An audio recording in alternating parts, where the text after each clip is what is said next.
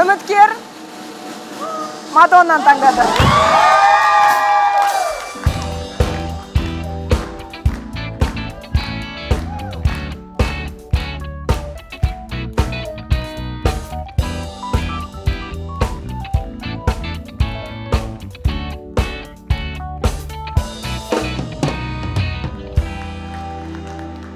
ой кімге келді деп отқан кезде мадонна маған бүйтіп қарап отыр. Мен деп айтыңызшы мен деп айтыңызшы сізді таңдап келді қалыңыз қалай? Жақсы барлығы. Мен алдыңғы аптадан бері күтіп жүрмін. Негізінде қатты күтіп жүргем. Каждый раз үміткер кімге келді дегенде анандай волнениемен отырамын да маған бекен маған бекен дегенде и бүгін қатты қуанып тұрмын маған келгеніне. Біз де қатты қуанып тұрмыз бірақ енді жұлдыз жорамалын қазір өзінен сұрай жатармыз.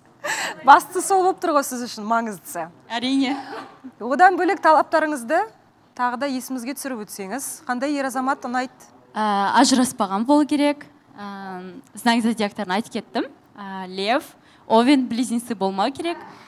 Вот. А сосын олжасқа айтайын деп едім. Алдында айтты ғой қайғыны ортақ мен левпін деп. Олжас маған левтер керек емес маған тигр керек.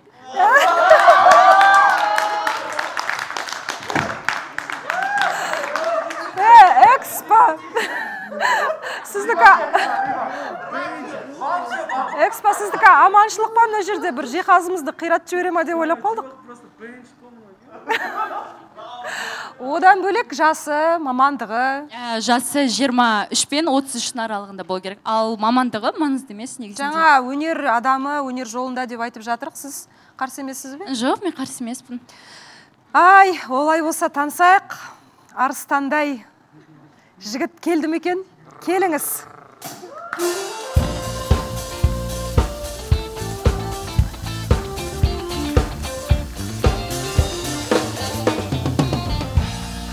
Сәлеметсіз бе? Қош келдіңіз. Қош келдік. Сізбен танысайық. Отыра беріңіз отыра беріңіз. Әйел адам тұрды тұрғаннан кейін де ыңғайсызданып тұрған шығарсыз. Мен де отырамын қазір өз орныма. Жайғасыңыз. Есіміңіз жасыңыз? Әділет болады жасым жиырма бірде әділет дедіңіз ба? Жиырма бірде жасыңыз. Мхм. Дауысыңызды сәл шығарсаңыз мына мадоннаға. Мына жерде айтып жатыр ғой арыстандай жігітті күтемін деп. Арыстан екеніңізді бір көрсетіп жіберіңіз шымылдықтың ар жағында сұр, бойдақпын қазіргі уақытта өзімнің жеке кәсібім бар. Шүкір оған да. Қай жақтың тумасысыз? Алматы қаласы облысы қаскелең қаласынан боламын керемет. Мен де қаскелеңде туылғанмын негізі. Иә. Ой сіздер қазір белсенділік танытып болмайтын сұрақ қойып отырсыңдар да. Қазір дайындалып отырыңыздаршы дұрыстап ал енді отбасыңыз туралы айтып өтсеңіз қанша отбасым ағайындысыздар демекші ә, отбасымда алтауымыз. Ағам бар мен інім. Одан кейін екі егіз інім содан кейін қарындасым бар. Бір-ақ қарындасыңыз иә, бар бір-ақ ма? қарындасымыз бар. Қандай керемет. Әкем ә, қазір пенсияда. Ә, анамның ол кісінің де жеке кәсібі бар. Ағам әке шешем бәрі бөлек тұрады өзім жақында ә, бір қуаныш дейді ғой. Үй көтердім жақында. Ой құтты болсын. Енді іші берекелі болсын. жалғыз тұрып жатқаныма бір айдай болып қалды енді. Ә, бұйырған енді қасыңызға жарыңыз керек. керек болып тұр ғой иә? Иә. Жақсы жігіт келіп отыр Мадина, Ма- мадонна бүгін сізге. Жұмысы бар үйі бар. Көз тимесін отбасы да керемет жаңа айтып қалдыңыз ғой егіз бар деп. Демек тұқымда бар? иә? Егіз. Керемет сондай енді танысыңыздар сұрақтарыңыз болса. Қош келдіңіз әділет. Қош келдік. Сіздің туған күніңіз қай күн? Знак зодиагыңыз 16 ә, қараша. Ә, ноябрь. скорпион иә? Скорпион. Мен қандай ә, тұс- тұстар дейді ғой иә? Иә. қандай тұстарымды ұнатып келдіңіз андай ғой ә, сіз жазып қойып сіз сізге тура айтатын андай өзінің сөзінде тұратын сондай. Сіздің талаптарыңызға мен білмеймін сырт көзге қалай бірақ өз басым сіздің талаптарыңызға мен андай сай келемін деп ойлаймын да. Иә. Сол себепті сізге келдім.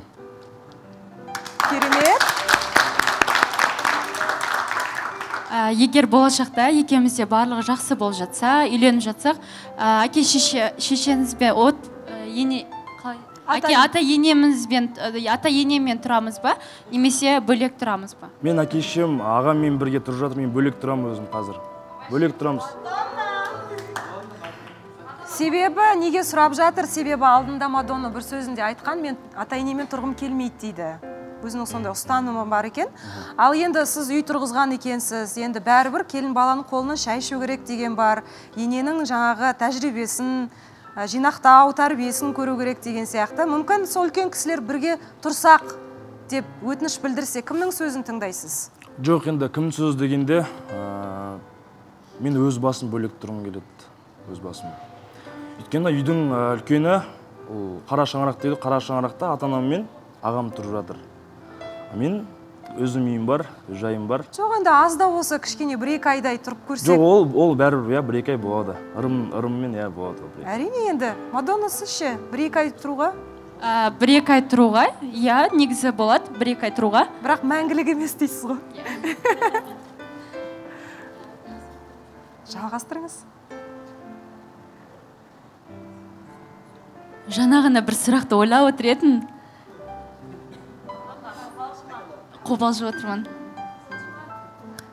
өнер жайындағы сұрақ а ә, сізге сұрақ қояйын деп едім мамандығыңыз қандай? Қай, қандай оқу орнын бітірдіңіз? Ә, қазір ә, универге түстім. Бірінші курстан кейін әскерге кеттім. Әскерден келгеннен кейін қазір ә, сырттай оқып жатырмын. Өнерге түстім дедіңіз ба? Жоқ жоқ жоқ. Уни... Университетке. а универге иә. Иә. Ал мамандық? Мамандық ә, дене және спорт мамандығы. Негізі.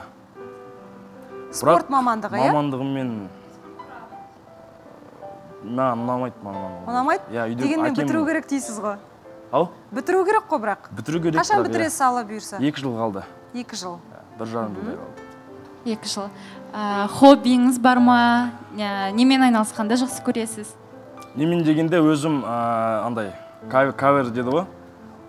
Даусым жоқ болса да былай енді өзім өлең айтқан жақсы көремін. Андай бір кейде бір көңіл көңіл күйім болмай қалады там ашуланып қалған жағдайда мен андай айғайламаймын бірақ сонда да бір әншілердің өлеңдеріне қосылып өзім сөйтіп басамын да маған сол ұнайды хобби демекші қандай әншілердің әндерін орындайсыз? Қандай кавер? Әншілер дегенде аука деген ә, Иә, иә. иә сол кісінің әндері жақсы ұнайды қазір айтып жатыр ғой. Қазір айтып бере алмайсыз Жоқ, ба бізге неге? Мадонна сіз сұрасаңыз жоқ мүмкін. Жоқ жоқ келесі келесі.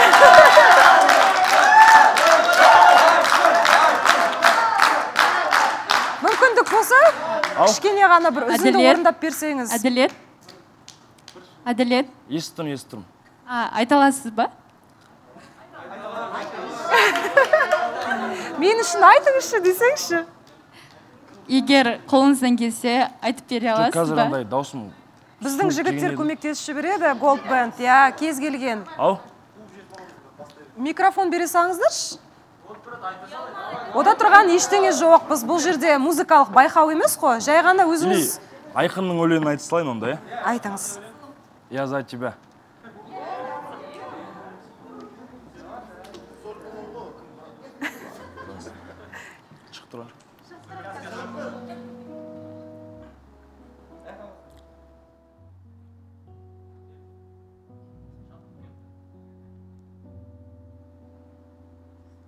баста жүрсеңіздерші мен қосылып кетейін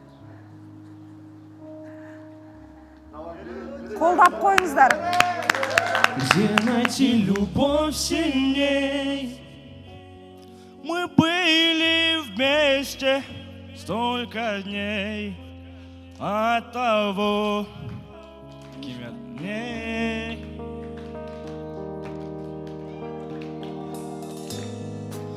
Пусть моя душа в слезах На глазах Бірге видеть вам я не дам. Я за тебя умру, посмотри в глаза мне, я не лгу. Если хочешь за тебя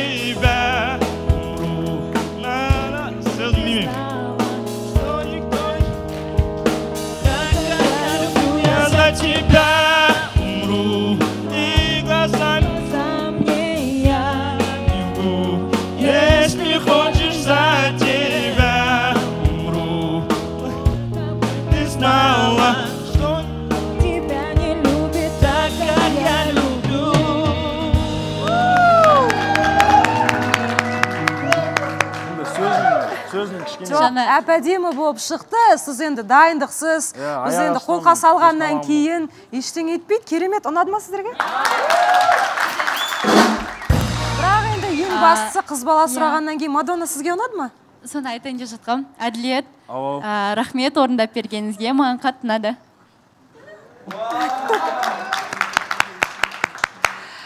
Ал енді жігіт жаман емес. Жақсы қырынан өзін көрсетіп жатыр бірақ айтылмай қалған бір сыры бар екен. Ол мадоннаға ұнай ма ұнамай ма шымылдық ашыла ма жоқ па? жарнамадан кейін білетін боласыздар бізбен бірге болыңыздар. Эфирде бір болайық жобасы біз жалғастырамыз. Мадоннаға үміткер келді есімі әділет. Жаңа мен үнемі айтамын да жарнама кезде қызықтың барлығы кадр сыртында қалып қояды. Себебі жарнама кезде біздің үміткер сыртқа шығып кетеді мадонна оны іздеп жүр. Көріп қаламын ба көріп қалмайын ба? деп. Бірақ енді жобамыздың ережесі бойынша шымылдық әзірше жабық. Ашыла енді ол ашылмай ма?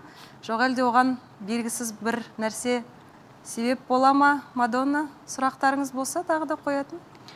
Қандай нәрсе маған сол қызық болып отыр негізі? Өзінен сұрап көрерсіз. Әділет? Ау. Ә, не, не нәрсе екенін өзіңіз айтып кетесіз ба? Не да естімедім. Қандай нәрсе екенін өзіңіз айтып кетесіз ба? Мадоннаға не нәрсе ұнамауы мүмкін деп ойлайсыз сізге қатысты? Мен жақтан білмеймін жоқ негізі жоқ сіз ә, сұрақ қоя берсем болады ма? Сіз бұрын үйленгенсіз ба? Жасым 21-де жоқ әлі үйленген жоқ а үйленбегенсіз ба? Олай маған қарамаңыз мадонна мен білмеймін. Білемін. Қатысушылар айтады да баласы бар ма дегенде бүйтіп маған қарады ғой. Ә, балаңыз бар ма? Жоқ жоқ балам жоқ ешкім жоқ балаңыз жоқ ә, үйленбегенсіз. Қызғаншақсыз ба? Ау? Қызғаншақсыз ба? ә, қызғанғанда жөні жоқ емес жөнімен қызғануға болады. Жөні жоқ қызғанғаннан кейін ол ұрыс шығады керіс болады сол себепті жөн жөнімен ғана қызғанамын. Аха. Ал әділет? Әділет. Ау соңғы ара қатынасыңыз жайлы айтып кетесіз ба? Соңғы ма? Иә. Ол жайлы айтпай ақ ау? Не дейсіз айтқым келмейді дейді қазір. Иә, мен ойлаймын енді егер де таныстық жалғасын тауып жатса мүмкін сырласуда айтарсыздар. Қазір ашық айтқым келіп тұрған жоқ дейді. Қатты уайымдап қалдыңыз ғой. Енді айтары бар болса өзіңізге жеке айта жатар иә? Мына жерде көп үңілмей ақ қояйық өзіне жеке басына. Мүмкін шымылдықты ашып аламыз одан кейін қатысушыларға да мүмкіндік береміз. Иә. иә? Иә. Шымылдықты ашайық онда таныссын.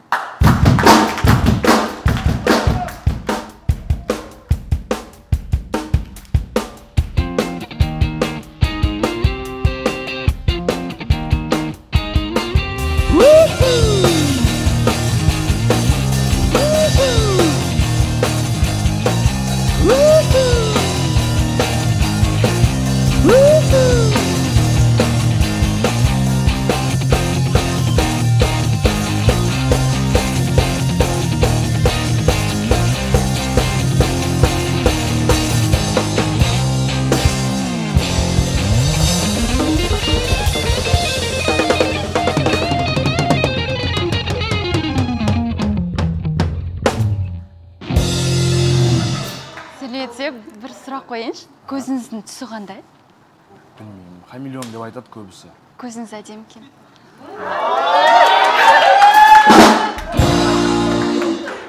мен мадонна сіздің орныңызға барып отыра берсем өздеріңіз сөйлесе берсеңіздер жоқ. Жоқ енді негізі адамдар бір біріне қатты ұнаған болса бір көргеннен ақ білуге болады ғой. Көз алмай. Енді таныстықтарыңыз құтты болсын ұзағынан болсын деп тілейміз. Әзірше сұрақтарыңызды әзірлеп отырыңыздар. Қатысушыларға мүмкіндік берейік. Олжас?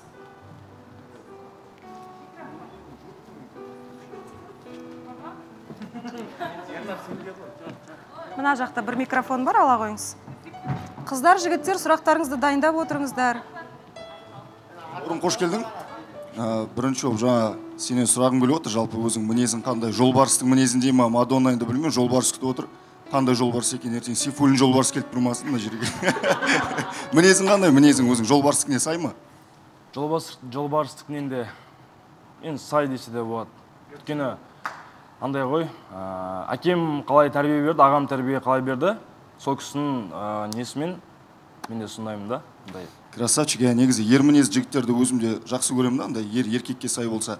Ә, келесі қоятын сұрағым мысалы ертең екеуіңде бәрі жақсы болып кетіп жатқан жағдайда ә, үйде ақшаны кім ұстайды?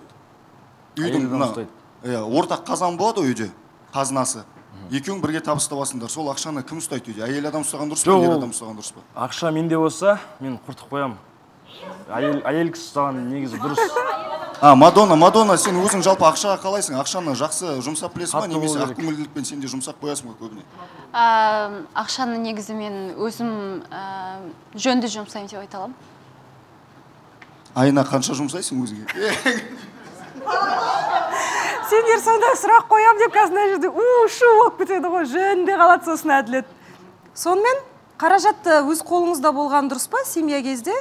Ә, негізінде ә, ақша ол мужская энергия да ә, еркек адамда болса ә, жақсы болады. Бірақ ә, айтып отырық әйел адамда болсын деп. Сондықтан да екеумізде бәрі жақсы болады. Наверное екеуміз бірге шешеміз.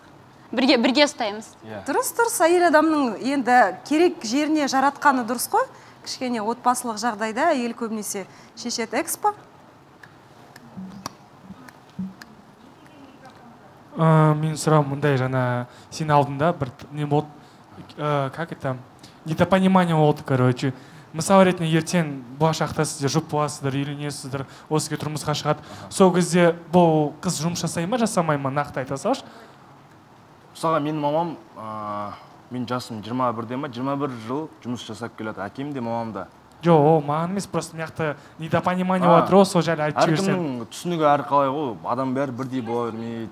Былайша- енді ол жұмыс жасай ма или үйде отыра ма? жасайды жұмыс жасаған мысалы ол жұмыс жасайды да баланы кім қарайды? бір үйді кім жинайды? Екі үй ішіп жата ма? Базар жоқ үйде отырса отырсын если ойын өзгеріп кетсе бір жағынан если ол семіріп бара жатса үйдің фитнесі бар иә? Фитнестар бар мысалы ретінде былай қарасақ. Енді ертең сен жұмыстан келесің да брат қарның ашып тұрады мысалы ретінде. Далада жемейсің ғой донерді. Үйде қызың әйелің жасаған тамақ ішкің келеді ғой. Сол жайлы айтып берсең кішкене. Мамам мамам мамамды шақырамын. Келіп тамағын береді. Жоқ жоқ мамаң мамаң келеді. Бұл қыз енді ата енесімен тұрғысы келмейді.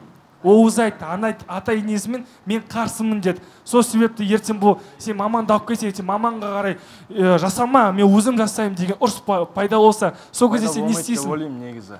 Пайда болмайды деп ойлаймын. Қалай пайда болмайды? Ол просто ертең әкелдіріп айтып тұр тамақ ғой. жасап қойып отырады екенмін мамасын жоқ барлық нәрсе үлгеруге болады ғой негізі. Үлгеруге бола ма? Иә. жарайды. Жоқ осы жерде анықтап алайық. Мадонна сізге ұнамаған сияқты. Сіз мысалы жұмыстасыз қолыңыз тимейді жаңа сұрап жатыр ғой экспо не істейсің қандай тамақ ішесің дегенде анамды шақырамын сол кісі жасап береді деді. Сізге ұнамай қалды ма? Иә негізінде ә, мен ойлаймын барлық жерде үлгеруге болатын сияқты деп ойлаймын. ә, негізі үлгеруге болады. Ә, сондықтан да өзім жасап беріп кетуге тырысамын. Ну қазір мен текке бір тамақтан дайындап білемін ғой. Бірақ болашақта жарым болып ә, жатсам мен өзім тамақ істеп үйренгім де келеді. Бір сәтте иә мысалға менің жеке кәсібім бар дедім иә. Неге мен жаным алмасқа неге бірге жұмыс істемеске вот. Ол кезде уже болады да басқаша? Бірақ қана асты әзірлей білемін дедіңіз ол қандай? Макароны. А басқасы? Басқасын ә, мен мен негізінде пісе аламын тамақты өзім тамақ істей аласыз ба? Ау тамақ істей аласыз ба? Аламын аламын сонда сіз барлығын өзіңіз қатырайын деп тұрсыз ба? Жарыңыз не істейді сонда? Ә, енді үйретемін қолымнан келгенше. Үйренеді кейін өзі істеп береді маған. Жоқ мысалы үйде қанша баламыз дедіңіз? Алтау. Алтаусыздар иә ағаларыңыз бар иә. Ер азаматты тамақтандыру ол оңай дүние емес. Жалпы қаншама ас әзірлеу керек. Енді қонақтар келеді басқасы болады. Сіз қанша уақытты м, мысалы дайындалуға үйренуге әзірсіз? Курсқа барасыз ба? Қалай үйренесіз? мен негізі кез келген нәрсені үйренгім келген нәрсені тез үйреніп кетемін. Ә, сондықтан да тем более қасымда өзім сүйген адам тамақ үйрететін болса ойлаймын ә, бір аптада уже барлық тамақ жасап үйренемін деп ойлаймын. Ана ана ну көбінесе. Ну ә, бас ап- ә, асхананың тамақтарын үйдің тамақтарын бір аптада жасап үйренемін деп ойлаймын. Мен мадоннаға сұрақ қойғым келіп отыр. Жаңа ата ене мәселесі қозғалып жатыр ғой. Мамам келіп жасап береді дегенде сіздің кішкене көзқарасыңыз басқаша болып қалды. Қазіргі жағдайда мысалы жас отбасыларға аналар айтпай келеді да қонаққа. А ә, ол жағынан негізі келсе келе берсін просто ә, нет келсін әрине мен Иә. қуанышты боламын. Ой кешіріңіздер қуанышты боламын. Болашақ жары өзімнің жарымның анасы келіп жатса мен анандай ә, түсінікте айтқым келген ә, алыс жақтан ол кісіні мазалап ә, тамақ жасап бер деп сондай мәселеге бола шақырған міне енді дұрыс айттыңыз. Әйтпесе сіз анау әділеттің мамасы келеді дегенге бүйтіп неге А, келеді жоқ, өзім істей аламын дегендей қылып келтірдіңіз. Сондықтан анықтап қойып жатқан сұрағым ғой әділетке де түсінікті болсын ренжіп қалмасын бұл да менің мамамды ысырып тастап жатыр ма дегендей. Самат? Қош келдіңіз. Бізде ә, қазір көп жас отбасыларда ә, ажырасу мәселесі көп қой.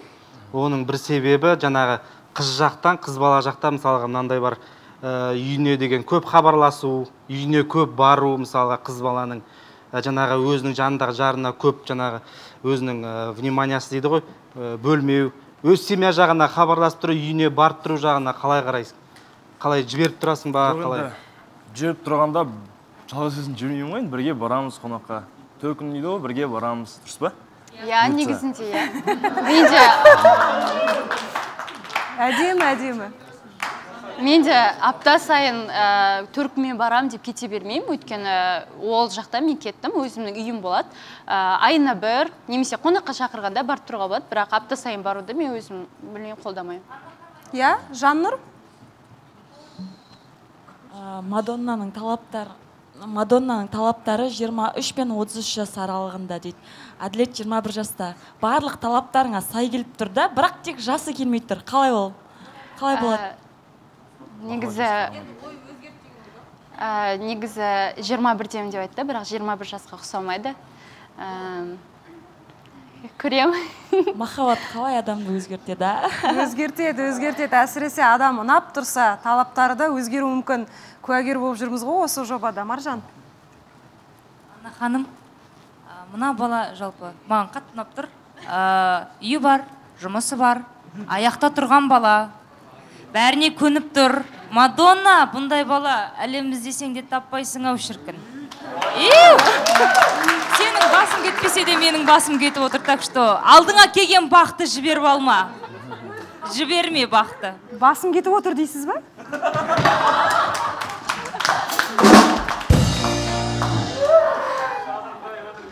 Басқаша түсініп қалмасын. Жалпы ұнап тұр жақсы жігіт деп тұр ғой иә? Солай. Солай түсінейік енді. Енді барлық қатысушылар сұрақ қоюға дайын. Бірақ сіздерге уақыт бергім келіп отыр. Егер де таныстықты жалғастырам десеңіз. Мадонна сырласу бөлмесіне барасыз ба әділетпен? Мына жақта басы кетіп отқандар бар ескеріңіз соны. Әрине барамын бара қойыңыздар.